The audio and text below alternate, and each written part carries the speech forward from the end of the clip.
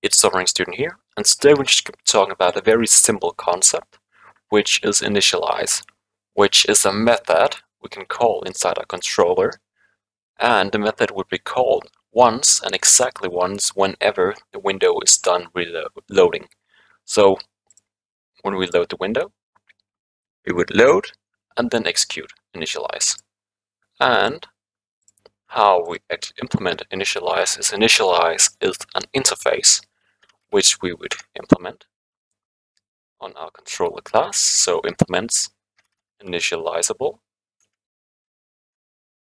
And as usual, because we implement an interface, we are being told we need to implement the abstract methods inside the interface, which would be initialize, which have some parameters. We're not going to be worrying too much about the parameters. We just use initialize as a very simple method that's called once when the program starts running.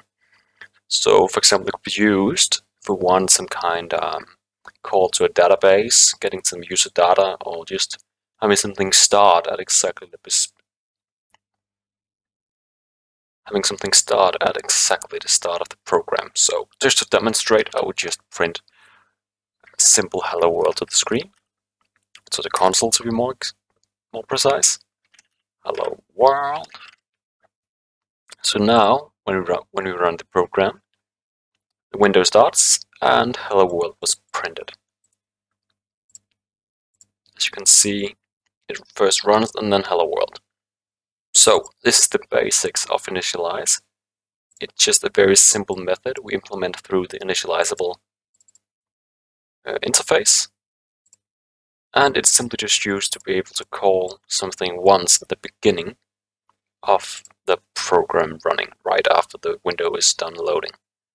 So this is the basics of initialize, very simple but very nice and good to know. Thank you very much for listening leave a like and subscribe and have a wonderful day.